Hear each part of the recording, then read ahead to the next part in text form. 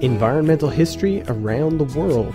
I think one thing that, that I took away from it was the possibility of, of making unexpected comparisons. A roundtable discussion about the Second World Congress for Environmental History.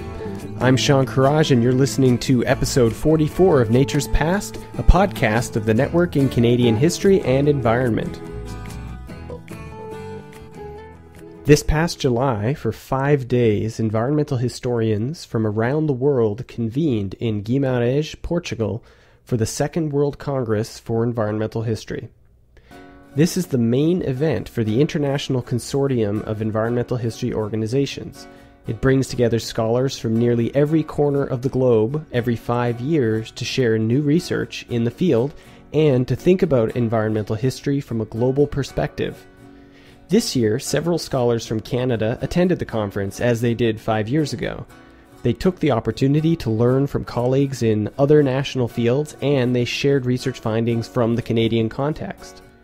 There were dozens of panels, roundtables, big plenary lectures, and a poster session. So much that not one person could see it all. So, to help me get a better sense of this conference and to explore some of its main themes and trends, I spoke with a group of environmental historians from Canada and one from the UK about the Second World Congress for Environmental History. I'm Stephen Bocking at Trent University. I'm Jessica DeWitt. I'm a PhD candidate at the University of Saskatchewan. And I'm Matthew Evenden in Department of Geography at the University of British Columbia. I'm Alexander Hall. I'm at Coventry University in England and previously a visiting scholar at York in Toronto. And I'm Tina Loo at the University of British Columbia in Vancouver. And if I've done my alphabetizing right, I'm John Thistle, and I am a research associate at the Labrador Institute of Memorial University. And I'm Jocelyn Thorpe, and I'm always last in alphabetical order things. And I am at the University of Manitoba in Winnipeg, and I'm in Women's and Gender Studies. So, we have a very big group here today uh, representing a wide spectrum of environmental historians from across Canada and one outside of Canada. Alex is joining us from the UK. Is that right, Alex? Yep, yep, that's right. Um, and what ties us all together is that uh, e- uh, each of us uh, spent part of our summer in Portugal attending the World Congress for Environmental History's second meeting uh, in Guimarães, uh, uh, Portugal, in the northern part of the country and I wanted to get everyone together to share some of their impressions of the conference uh, and what they took away from it. Um, so maybe I'll just start off, and uh, I'll ask Stephen maybe to get us started, um, letting us know a little bit about what stood out to him as some of the most significant insights that he took away from the conference. Okay, thanks, Sean. Good question. Um, I think one thing that that I took away from it was the possibility of of making unexpected comparisons. That mm-hmm. like uh, if I can mention my own the session I gave my own paper, and I gave a paper on salmon aquaculture. And my, my time period that I focus on is late 20th century, early 21st century. And I never really looked much at medieval aquaculture, but the other papers in the session were from medieval times. So it was organized by Richard Hoffman. And I learned a lot from the papers on that time period that there's actually interesting comparisons between 16th century aquaculture and 20th century aquaculture. And so I, I didn't expect that. So it was a good thing to learn. Yeah, I noticed that in a lot of the sessions. I mean, obviously, this was a very broad international conference that had scholars from Europe, Latin America, North America, Australia, New Zealand, um, some East Asian scholars, and some African scholars. Um, and you could see uh, a lot of um, both chronological intersections as well as uh, transnational intersections in terms of the topics that were covered. Tina, uh, what stood out for you? Um, some of the same things. I was impressed by the expansive time scale that was dealt with at the conference. Um, for the same reason Stephen does. I think North American environmental history tends to be quite modern in its biases and emphases. And the other thing, of course, was the interdisciplinarity. Uh, one of the sessions, at least one of the sessions I went to, um, in, did a good job of incorporating archaeological evidence. In fact, none of the people on the panel was formally a historian, but they were all dealing with change over time. So I think interdisciplinarity was what stood out for me. John, what about you? What did uh, what did you notice at the conference? There were so many sessions. There were so many sessions. So I guess this is uh, one thing to say is to preface this by saying it's a kind of a limited sample size for me. I mean, I took in as many as I could, uh, but of course, uh, you can only ever do so much. I think for me, what I, what I took away from the conference maybe wasn't so much uh, an insight um, as a reminder. I mean, I agree with everything that Tina and Stephen have said so far, but for me, uh, there was a real powerful reminder of just how uh, attention to space and scale uh, shapes the sorts of stories that environmental historians and others tell about the past. And for me, this came up in a session on watersheds, which was all about this sort of thing. And there was this great paper which talked about a river in Italy, I think, if I, if I remember correctly, and how you know at first glance this doesn't look like an industrialized river at all and that's the way historians of that place have tended to treat it. But the moment you pulled back uh, and looked at the same river from a watershed perspective um, suddenly uh, you, you, saw that it, pr- pretty much every tributary which ran into it was in fact altered in, in one way or another. Um, and so for me that was just a, a reminder among maybe a lot of, over the years that you know the, the way we think about space and scale can really powerfully shape the, the kinds of stories we tell. Uh, so that was something that stood out for me for sure. Well, that reminds me actually a little bit of Matthew's book on the Fraser River um, and the the extent to which the main stem of the Fraser River was relatively unmodified, though of course there were some modifications on it. Matthew, what uh, what sort of things did you take away from the conference? Well, I, I mean, I uh, agree with all the things that have been said said already, I, I sample a, a, whole range of different uh, sessions, and I, at this conference in particular, I deliberately try and get out of my comfort zone and see um, different international uh, sessions. So mm-hmm. I learn learn a, a, great deal by doing that. I think hearing historians from South Asia talk to South Asian topics, say, or Chinese historians talk about Chinese topics, is um, really it's a unique possibility. But I, I would say that the sessions that impressed me most at the conference were the ones uh, focused on the Columbian Exchange and, and revisiting the ecological imperialism narrative. Uh, mm-hmm. These are ones with Judith Carney and some of her colleagues, and uh, they were well organized. They they fed off of one another. Um, they revisited a core story and problem in environmental history and I just felt uh, it was so refreshing, and I felt like I was brought up to date with the latest research on some of these uh, uh, questions that have fascinated me throughout my whole career. So uh, it was a these sessions were for me uh, provided a lot of insight, but also I think models for what can happen at a World Congress meeting, uh, drawing colleagues from across the world, and, and like Tina said, it was very interdisciplinary too. I mean, there was a botanist in one of the sessions um, talking about uh, different strains of rice that she's uh, discovered in uh, uh, peripheral areas of Suriname, which correspond to some of the uh, interpretations that Judith Carney came to earlier in her book on black rice. It was just a fascinating discussion. Yeah, I was at that session as well, and uh, I should say for any non-environmental historians listening to this episode, a botanist at a conference talking about rice is indeed exciting. Um, Jessica, as a graduate student, what were your impressions? Was this was your first World Congress? It was, yes. Um, I noticed many of the things that other people have been mentioning, and uh, another thing that I, I noticed was that a lot of the panels that I went to nicely connected their topics to present day issues, mm-hmm. um, and I was just blown away with um, just how how clearly environmental issues are reflected in the past. And um, environmental history seems like a, a field that that does that nicely, more so than other fields. Other conferences that I go to, uh, the people will say will have a story, and it's a nice story, but it's it's like, okay, so why why do we care about this? And I find that environmental history allows us to to figure out why we care and to to illustrate that more effectively. Jocelyn, did you find something similar? This is so interesting. Um, I was settling down into listening. Um, I have to talk. Hmm. So, yeah, what struck me, um, it was also sort of notions of, of disciplines. Um, mm. And I think it speaks also to the kind of so what and, and who cares. Um, but to me, it made me think in a way about the ways in which we are disciplined. Um, more than the ways in which the conference was interdisciplinary, and and maybe that speaks to.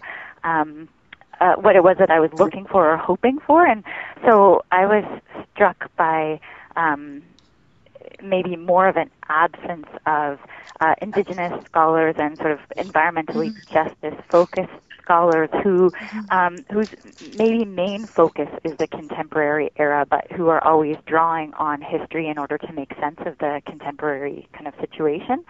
Um, and so I thought a lot about how it is that we frame what it is that we're doing shapes who it is who um, feels compelled to come to a conference and um, and who I guess sees sees themselves there. So I find it really interesting to think about that in terms of you know archaeologists and botanists coming. Um, so how might we, I guess, broaden that interdisciplinarity? Um, maybe I don't know, even by calling it something different. Like how does what you call a conference shape who it is who comes and and how it is that the research is framed? Mm-hmm. And Alex, uh, you're you're bringing us a perspective from the history of science as well as a perspective uh, from history outside of Canada. Uh, what stood out to you from the Second World Congress? Um, yeah, I think echoing a lot of the things people have already said. I think, I mean, one of the nicest things for me, um, the theme of the con- official theme of the conference, environmental history in the making, and so often uh, conferences have a theme or a, a, subheading to them, and you go and you can't really see how or why panels are um, are about that that element. And it was great to see so many sessions addressing methodological issues, theoretical aspects of discipline, um, not just seeing session after session on individual case studies, but seeing a lot more synthesis across cases. Um, so I think that was the main thing for me, which is kind of echoing really what other people have said. So I have another maybe more difficult question. When I go to the ASEH um, or a conference like this, one of the things I'm interested in seeing is what uh, what are the new trends uh, in the field. Um, did anything stand out to uh, any of you on the panel uh, who wants to jump in as a new trend in scholarship in environmental history?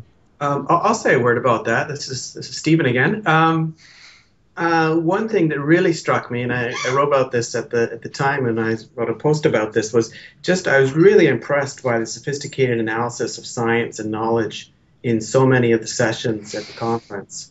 That uh, you know, um, been to past ASEH's uh, ASEH conferences and found that well, you know, the the analysis of science can often tend towards to being fairly naive, but here it was really sophisticated in terms of examining carefully how uh, how knowledge is constructed and how the authority of knowledge is formed, uh, the relations between science and how landscapes are perceived, or how different interests uh, conflict over uses of the landscape, and those kinds of things. How how knowledge is, used as a political tool. Those kinds of things about about uh, you know that STS uh, scholars and historians of science think about that they were really being analyzed on a critical level by environmental historians. So I was really impressed by that.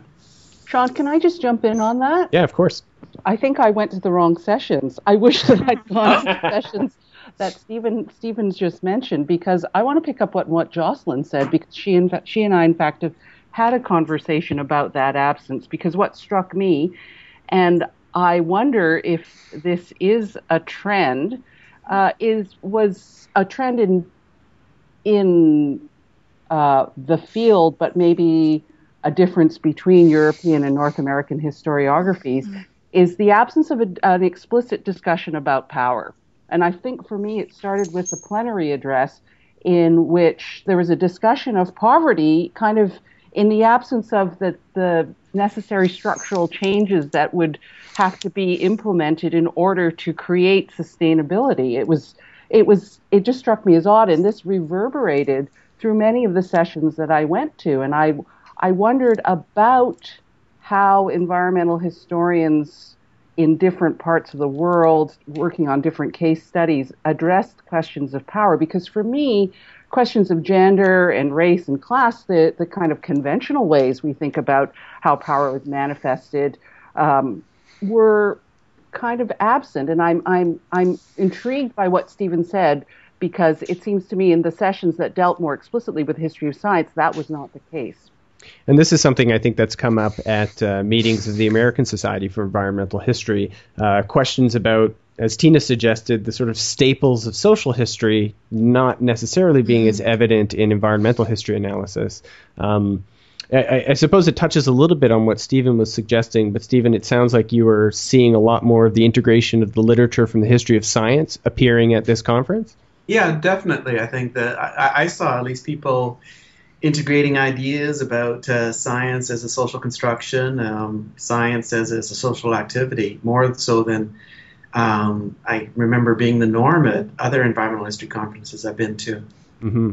And of course, this is also a function of what panels that we saw. Matthew mentioned mm-hmm. these sessions on the Columbian Exchange and Judith Carney's work, and I think there you see some of the most direct um, uh, blending of uh, discussions of power and the environment uh, it was Alex was gonna. I was just gonna jump in and sort of um, echo some of the things Stephen said. I think, and not necessarily discussions of power particularly, but um, uh, integration of, of some other fields or subdisciplines and areas. Um, I saw a couple of great panels that uh, were on areas of his, history of science, um, and maybe didn't focus on power structures as much, but possibly because some of the people speaking, I think, maybe do that in other arenas and kind of brought the environment to the mm. center of their of their papers at these sessions. Um, and I found, I found some interesting ones in that area, but I also found some interesting sort of crossover with um, some historical geography sort of aspects, um, some interesting eh, ways of looking at landscapes and changes, uh, not just over time, but also spatial changes. Um, and so I found some quite interesting overlaps at the World Congress that I, am not necessarily seeing at other environmental history conferences, especially with the history of science areas and STS, but also a little bit with the historical geographers as well. Hi, this is John here. May I pipe in on this point? Yeah, of course. Um, I, agree with a lot of what's being said, uh, especially Tina, your points. Um, it seemed to me that um, as regards this issue of science and also, I guess, to some extent, interdisciplinarity, it struck me, and again, this may just reflect the kinds of sessions I ended up in, right? But it, it struck me that there's still a bit of a, a, two cultures thing going on with some people using science to understand the past, and, and others who were more interested in approaching uh, questions of science and nature from a science studies perspective, but not a ton of work on what you know is sort of the middle ground of those positions. And I mean, I think of Tina's paper, for example, on changing uh, northern caribou populations and the roots of co-management, and I think what you called uh, post-normal science, Tina, um, and, and, how it was seeking to, you know, really grapple seriously with with a lot of issues, power among them, but also what's happening with the caribou population. Uh, but most of the papers uh, that that I saw treated science either as one thing or the other, right? There there wasn't there weren't the kinds of papers that said, okay, look, science is potentially a powerful uh, means of understanding the environmental past, but also is something that needs to be understood historically uh, as the product of you know intertwined social and environmental context. In other words, the kinds of stuff that science and stud, uh, science and technology scholars have been pointing out for years. And and again, I think this also reflects probably my own preoccupations too, because I, I am admittedly quite interested in you know studies that that use science to understand the environmental past, but but are also really careful about how they do it and are careful to contextualize that science to expose some of its power relations and the different ways in which it's socially produced. I'll let Jessica jump in. She's a she's a new graduate student. She's on the bleeding edge. Uh, what trends are you uh, introducing and leading in the field, Jessica? what am I? Oh man. Well, um, I, w- I was kind of surprised how little digital history was represented um, because it seems to be such a hot topic and uh, and so popular on the internet and whatnot, but very few uh, papers that I saw uh, interwove anything to do with it.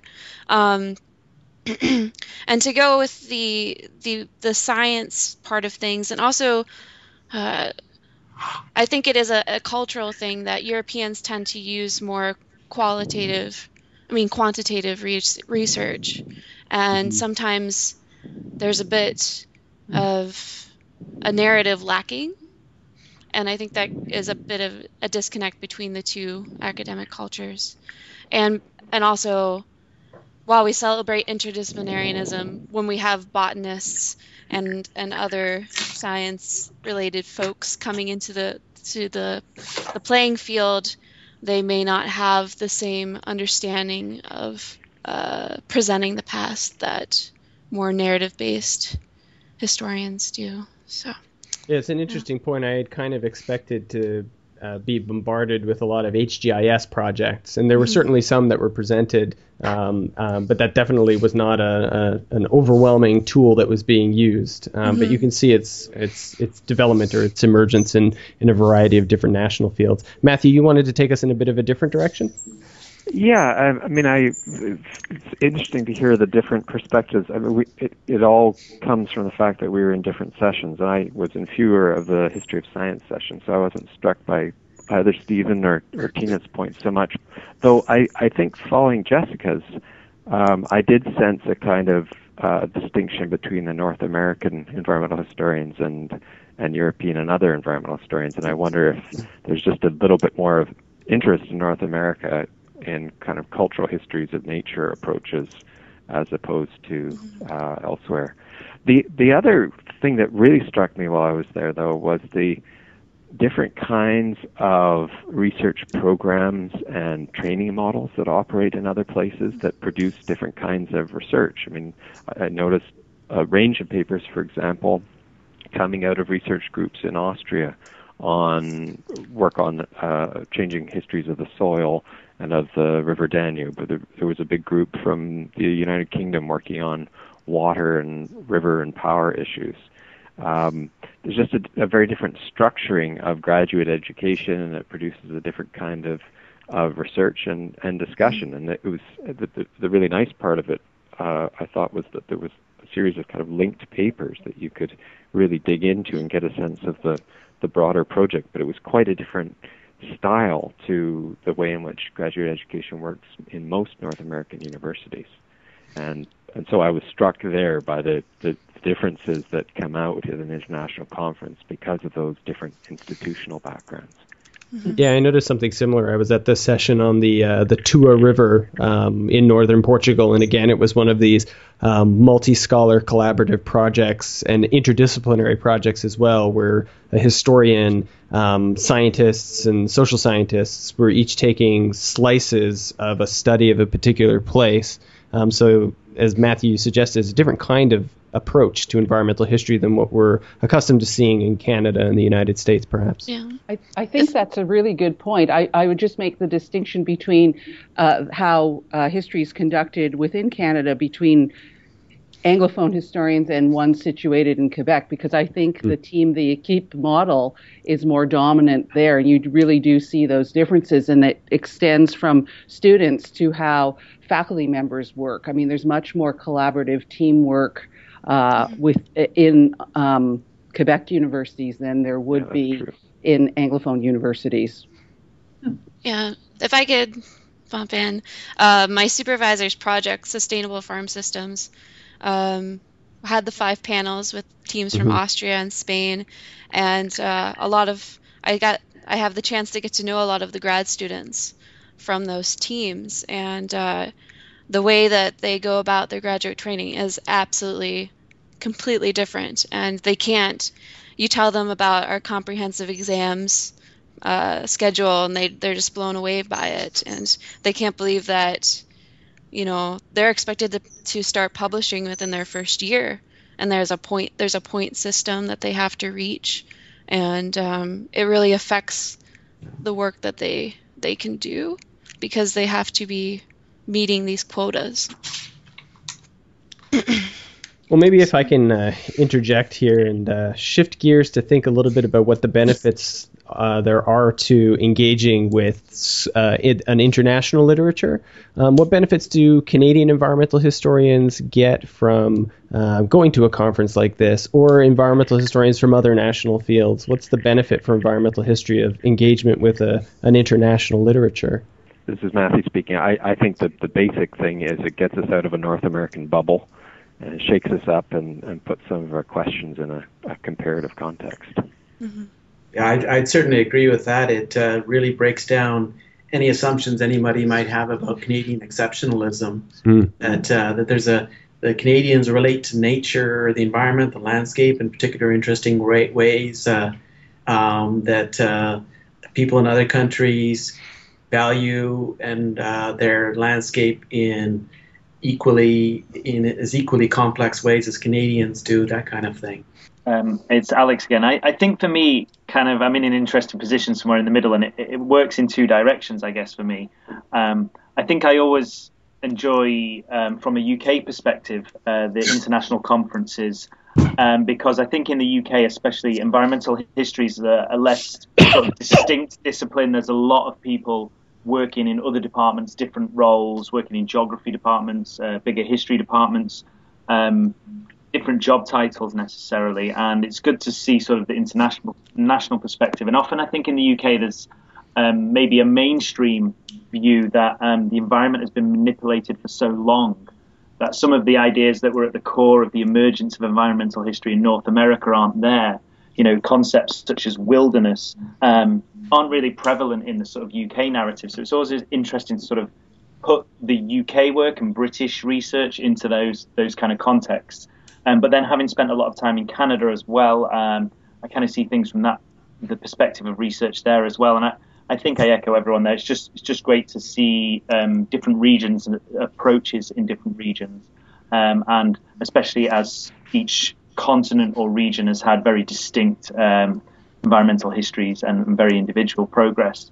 Yeah, I mean, certainly for me, um, seeing case studies from a variety of different parts of the world really underlines uh, an opportunity to think about Canada's environmental history as part of a, an environmental history of the Earth um, and where we can see human beings across the geographic spectrum and the chronological spectrum encountering, in some cases, common problems, in some cases, idiosyncratic problems, and in some cases, problems that, of course, cross borders um, or at least are happening simultaneously on different parts of the globe. Um, so, in some ways, I mean, it's it's the point that Stephen raised that it uh, helps us to see what is and what isn't exceptional about, about Canada's environmental history but in other ways, I thought it was a great opportunity to see uh, an environmental history of humanity um, that uh, didn't that wasn't restricted by national borders. Uh,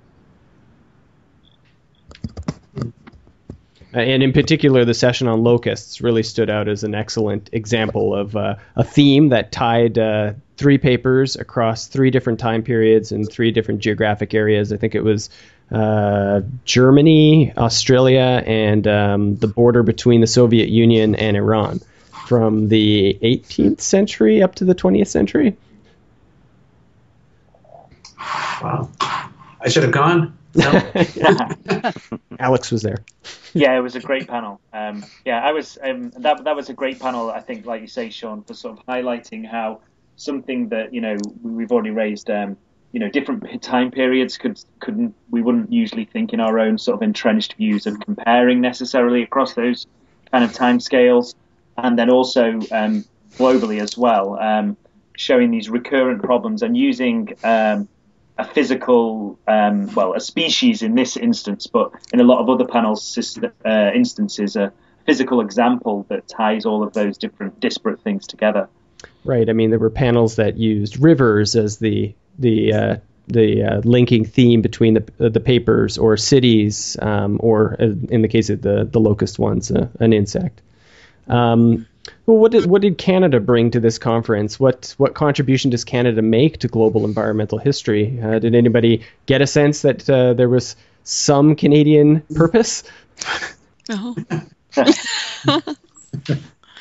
well, Jocelyn, I'll, I'll um, let you jump in here and give us some of your thoughts on uh, Canada's place at uh, the World Congress for Environmental History. Yeah. Okay. Thanks, Sean. I'm just thinking about. Um, the kind of seemingly contradictory role that we have where um, about exceptionalism, uh, Stephen, as you were saying, where often we have to say in doing our work, you know, this is what makes it distinct, this is what makes it unique. And then the trouble of containing it, because often you find, you know, exactly the opposite. Oh, actually, it's not so unique. But you can't really say that, you know, because then it's hard to say, and this is why it's important. Right. Um, and uh, I guess what I'm thinking of is a part in one of the um, end plenaries that I found pretty shocking. Um, that was about the, you know, what does Europe have to offer environmental history? And uh, the person who was speaking said, "Well, you know, Europe has a deep past, and uh, and North America doesn't." You know, and um, it, like it was really hard for me not to stand up and just go ah, and, and I didn't. Maybe because you were holding my hand, Sean. Um, but I guess so. It goes both ways. Like I, th- I think that then what we quote unquote have to offer here then is to say, well, actually, we need to look at the deep past of North America, and perhaps that means that we're not looking at the history of white people, but you know, it doesn't make it any less historical. Um, and so, yeah, so I guess when it comes to that, it's, to me, it seems like those conversations are the things that are necessary, even as I think they fly in the face of any kind of exceptionalism, you know? Yeah. Um, I mean, that's a great yeah. example, right? I mean, that's uh, uh, the one thing I, I, I, noticed was, you know, Canadians at, at this conference brought with them the things that we tend to focus on in our scholarship.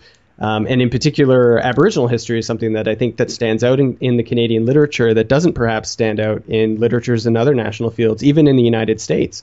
Um, and another one that stands out to me, always stands out to me for environmental history in Canada, is hydroelectricity. We're obsessed with it, um, and so I think we always stand out at these kind of conferences talking about energy, uh, particularly hydroelectricity. Yeah, and I guess then just to follow up quickly, I think um, in pointing out those things that can't be ignored in the places that we're from, wherever they are, then perhaps it asks other people, and including us, what it is that can't be ignored in those other places shouldn't also be ignored in these places. So, you know, the history of colonialism, well, certainly maybe it can be ignored in British uh, environmental history, but why is that, right? So it asks us to ask those bigger questions.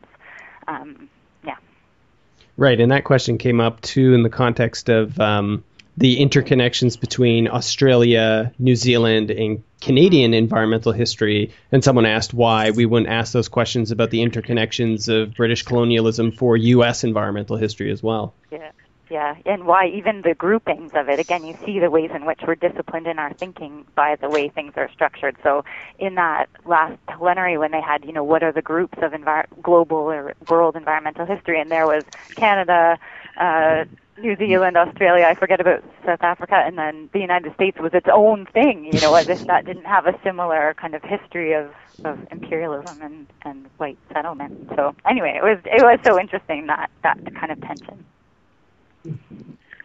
Jocelyn's comments just made me. This is Matthew. Uh, think of something. I, I, my impression was that Canadian papers were quite dispersed across the conference, and uh, I think that we probably have less of an impact than we would like in the discussions. Um, this is partly due to the usual problem of generating international interest in Canada, but also because I think our efforts are dispersed, and there are a lot of good things that come from that uh, uh, kind of diffusion and different questions being asked in different places and so on. But I wonder if before, and this is jumping to a later topic maybe, but I wonder if before the next World Congress, we've identified various things that we we wished we had seen, or or questions that uh, occur in Canada but don't occur in other national historiographies. If we should get organized and um, hold some kind of workshop in advance, a year in advance, to think up some really good session ideas, which wouldn't just in- involve Canadians, but which would launch Canadian work in purposeful ways into the international discussion so that our efforts are a little less diffuse, a little less uh, oriented towards our individual research programs, but try strategically to engage international colleagues in, in ways that Canadian work can help to move the whole field forward. That's quite an interesting idea. I know there was an effort uh, to have Canadian papers spread uh, across panels, mixed within um, papers in other national fields, certainly, but this idea of at least trying to coordinate those from are you suggesting like a Canadian perspective, or at least having some way of influencing those transnational sessions? Well, no, I mean we know we know how these things no- normally happen. Everybody scrambles the last minute to get their sessions together, their individual papers mm-hmm. together. Mm-hmm. What if we What if we did it a little earlier and thought hard about uh, international colleagues we'd like to connect with in some theme sessions or um, strategic ways of bringing Canadian topics into the international discussion. I mean, if we have in, uh, uh, Canada focused sessions, there's always a risk that international colleagues won't come. If we have Canadian papers seeded into thematic sessions, there are other risks that come from that. So I'm just wondering if there might be a point in uh, having a discussion amongst the group that's planning to go in a rough general way. People don't have to participate if they don't want to, but to think strategically about how to engage better. John, Tina, you wanted to jump in? Yeah. Yeah, yeah. No, I like I like that idea. The idea that Matthew had. I would maybe just throw this idea in, and um, I think that we might spend some time profitably thinking not just about topics and international colleagues we'd like to connect with in relation to those topics, but to think about questions.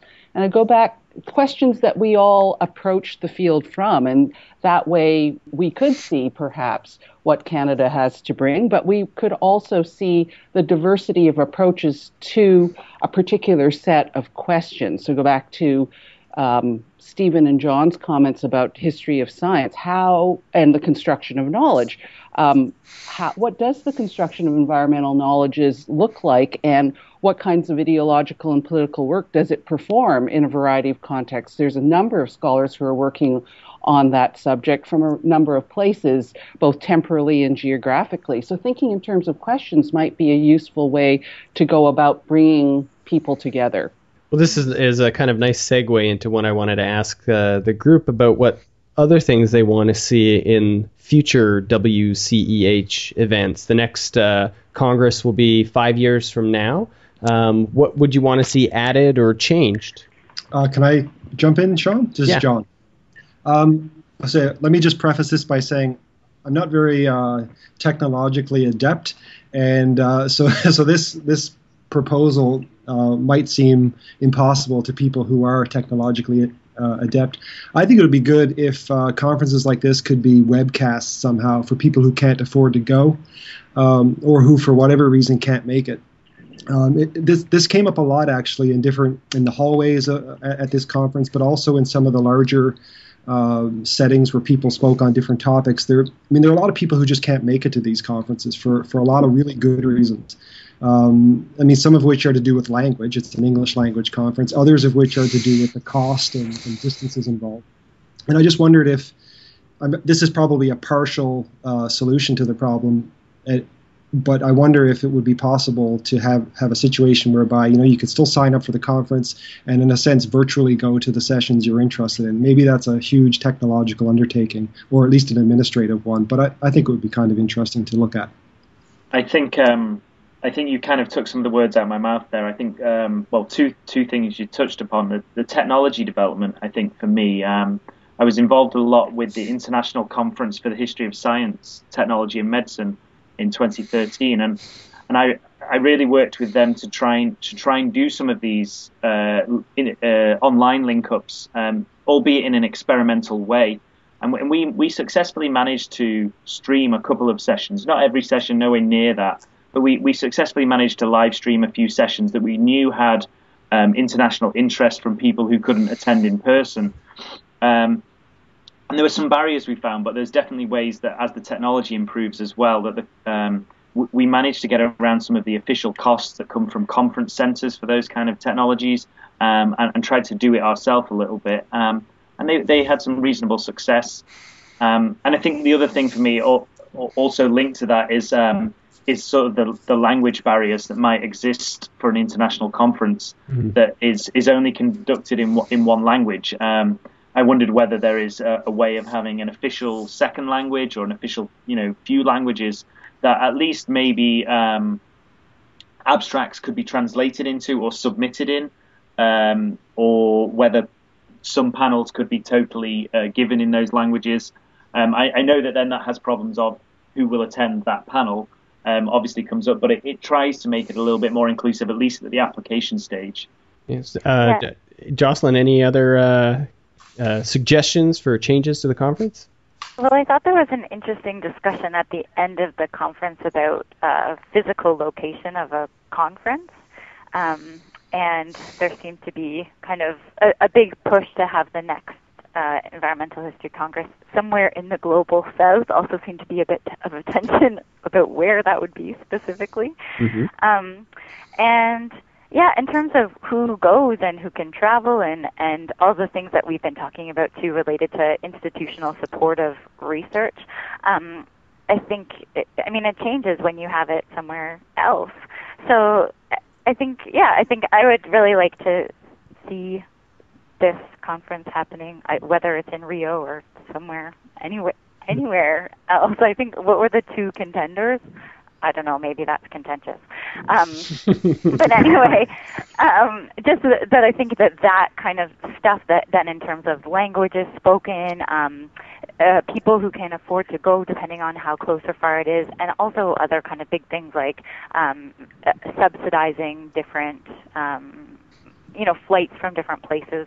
Um, it just might all be really useful to think about and consider as um, we think about who it is that we hope to be having conversations with, um, which I think also connects to Tina's point about, you know, and Matthew's too, about asking questions, asking them early, and then thinking ahead. Oh, okay, so who is asking these kind of questions? And then can we get these people together, and then can we get them to go somewhere all together um, and get to have those conversations in person?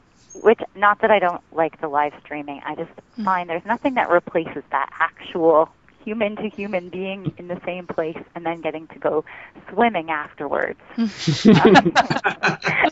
makes it kind of fun. I so saw you is, at the pool, Jocelyn. Is that a vote for? is that a vote for Rio? I assume then. Maybe that that Portugal hotel and pool was pretty great.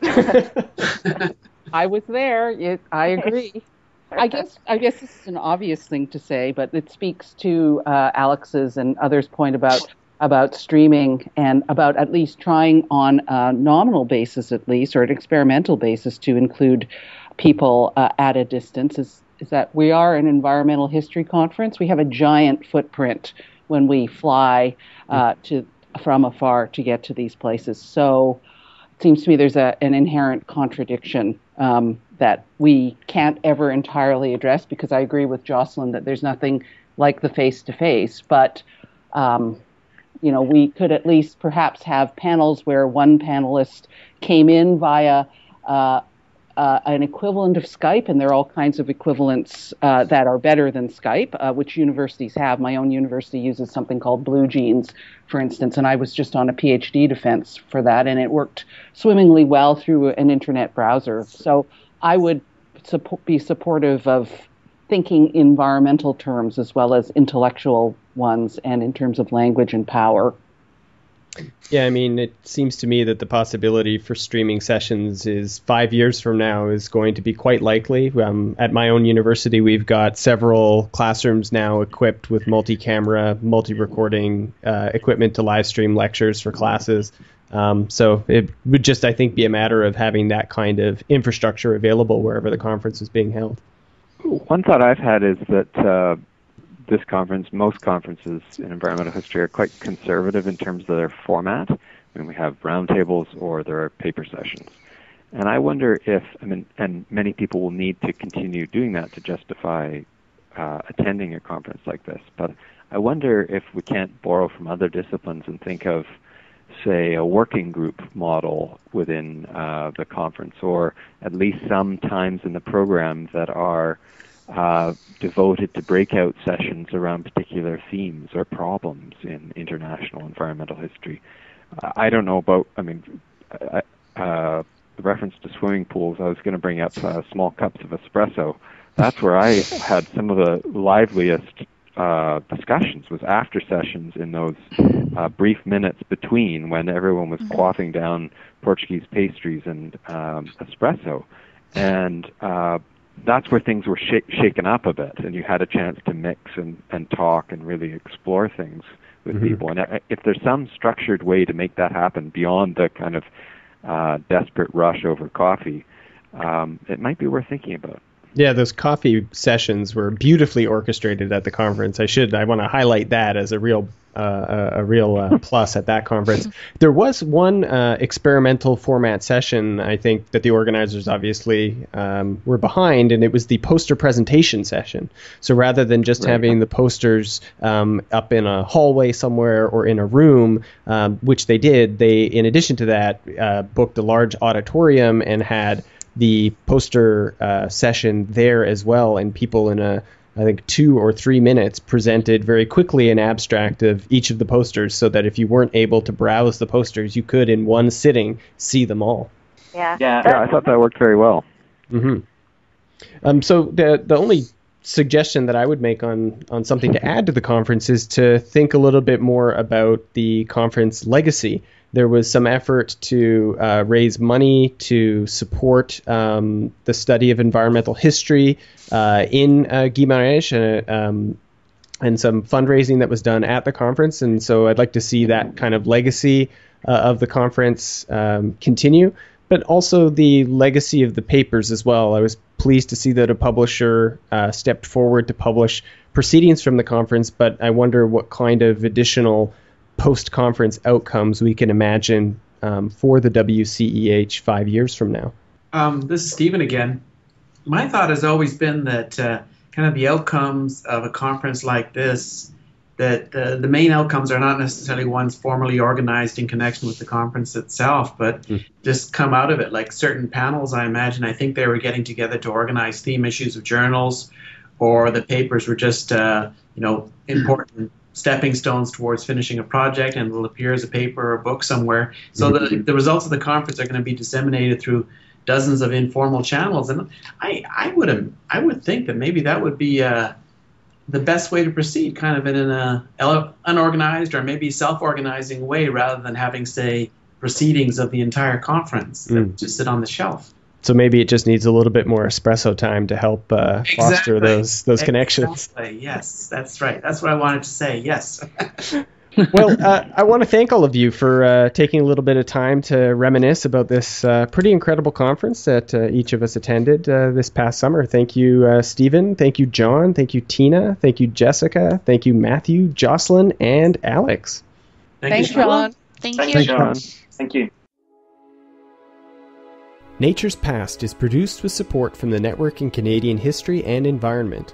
This episode was made by Stephen Bocking, Matthew Evenden, Jessica DeWitt, Alex Hall, Tina Loo, John Thistle, Jocelyn Thorpe, and me, Sean Kheraj. Music for Nature's Past was licensed by Creative Commons. For details on the artists, please take a look at our show notes page at niche-canada.org slash nature's past where you can also download new episodes, subscribe to the podcast through iTunes, and leave us comments. Please let us know what you think about the podcast, and don't forget to rate and review this podcast on our iTunes page. You can also follow us on Twitter at twitter.com slash naturespast. You can always get the latest information on events in the environmental history community from the Niche website at niche-canada.org, and you can find out more about the topics we discussed on this episode on our show notes page. Thanks for listening, and we'll be back next month with another episode of Nature's Past.